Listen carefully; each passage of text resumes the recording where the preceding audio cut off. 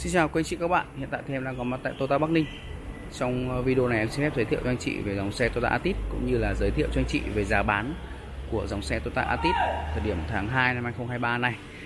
Thì ờ, trước mắt chúng ta đây là phiên bản 1.8 ờ, V và thời điểm tháng 2 năm 2023 này Toyota Atit được phân phối thị trường Việt Nam với 3 phiên bản và đều được lắp ráp ở thị trường Thái Lan và được uh, xây dựng theo cái khung gầm TNGA toàn cầu. Giá lên được các phiên bản như sau. Thì uh, đối với cái xe dòng bản Toyota Altis này thì bên em đang uh, có 3 dòng. Và dòng đầu tiên là phiên bản 1.8 G có giá niêm yết là 719 triệu vào thời điểm tháng 2 năm 2023 này.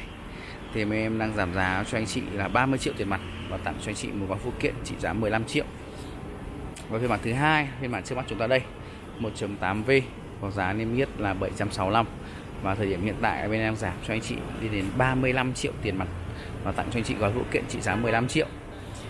Ờ, và phiên bản thứ ba phiên bản 1.8 HV phiên bản xăng điện thì có giá niêm yết là 860 triệu.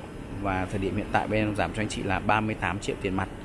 À, tặng cho anh chị một gói phụ kiện trị giá 15 triệu thì giá niêm yết thì giá bán của phiên bản 1.8G chỉ còn 740 thôi 704 còn uh, lăn bánh khoảng tầm 708 trả góp anh chị chuẩn bị trước giúp em khoảng tầm 230 còn uh, phiên bản 1.8V trước mắt chúng ta đây thì có giá niêm yết là 765 giảm ờ, uh, 35 thì còn 730 triệu giá xuất hóa đơn lăn bánh khoảng tầm 810 và trả góp anh chị chuẩn bị cho em khoảng tầm 240 là đủ.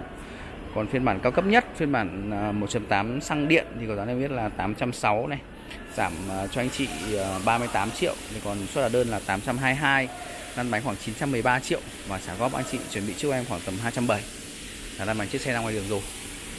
Thì vừa rồi là em đã giới thiệu cho anh chị về cái giá bán của các phiên bản các phiên bản uh, Atit thì uh, em sẽ điểm qua cho anh chị về ừ, chiếc xe này có gì đặc sắc.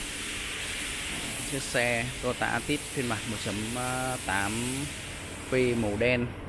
Thì uh, dòng xe Altis sẽ được trang bị là đèn ờ, full led đèn tự động uh, led. Nó sẽ pha vào cốt chung lại chung một cái bóng đi và ngoài ra thì xe được trang bị là hai cảm biến trước phiên bản 1.8V 1.8HV sẽ được trang bị là cái uh, chức năng Toyota Safety sen giữ đàn đường cảnh báo tiền va chạm rồi bám theo phe đằng trước. La răng thì được trang bị ở phiên bản 1.8G là phiên bản la răng phay là phát đúc. Tuy nhiên là phiên bản 1.8V 1.8HV sẽ được uh, trang bị la răng phay trước như ở trước video đây. Ngoài ra thì được trang bị là cửa cảm ứng này còn đuôi xe cũng là trang bị ờ, đèn full led cũng như là được trang bị là bốn cảm biến. Sau thì xe này là đang bên em đang dán cái phim trắng bảo vệ xe khi mà xe bởi vì xe là xe nhập khẩu mà. Ờ, về ngoại thất thì có các lựa chọn như là màu trắng màu đen màu đỏ màu ờ, bạc màu xám xanh 1k3 còn đây là phần nội thất của xe. Nội thất của xe thì có hai lựa chọn là màu đen pha với be như này thì trong xe nó sẽ sáng sủa và rộng rãi.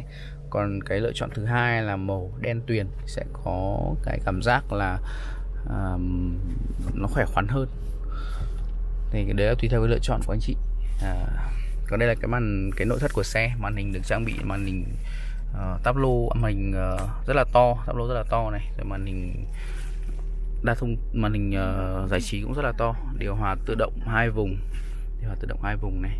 Uh, có chế độ lái sport phanh tay điện tử auto hold chiếc xe này là chiếc xe um, dựa cái option thì khá là giống với Cross nhưng tuy nhiên là khác một chút. Tuy nhiên giá, mà cái giá này rẻ rất nhiều. Đây là cái cụm chỉnh đèn này. Rồi uh, đèn tự động phá cốt. Giữ làn đường cảnh báo tiên va chạm. Điều chỉnh những cái cụm này. Vừa rồi thì em đã giới thiệu cho anh chị nội ngoại thất chiếc xe Toyota Cross, à, Toyota Altis cũng như là giới thiệu cho anh chị về giá bán của chiếc xe này. Ở thời điểm tháng 2 năm 2023 thì anh chị cần em tư vấn thêm về vấn đề nào về về xe, về giá xe, màu xe hay là trả góp có thể liên hệ giúp em qua số online để trên màn hình nhé. Em xin phép hẹn anh chị những video tiếp theo. Xin chào và hẹn gặp lại.